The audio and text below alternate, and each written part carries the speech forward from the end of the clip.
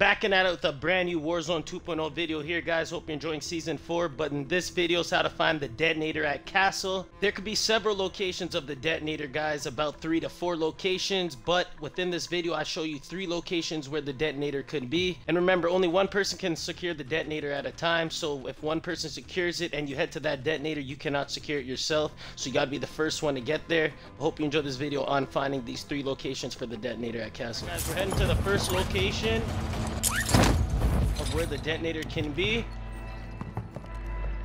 Right behind here, this would be the first location where the detonator would be. Now we're gonna head to the second location because it's not at the first one.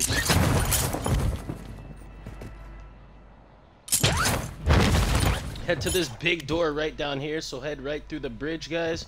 Right across the bridge, head through this big door. All you're gonna wanna do is head to this room right around here.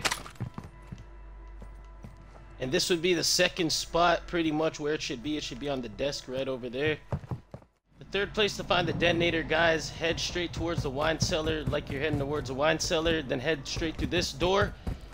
Head right around here, straight down the hallway. Head right here, and then right in this room, you should find the detonator and secure the detonator right there. So it's on the ground floor, guys, of the castle. As you've seen in that video, there's three locations to find the detonator at castle. It's kind of confusing, and there's probably way more locations too, probably two or three more. That final location, I kind of found it on my own. I was on a whole geese chase. I was searching around the whole entire castle, but thank the Lord I found it. And if you're new to my channel, just subscribe to it and like this video, guys. It helps my algorithm. Peace.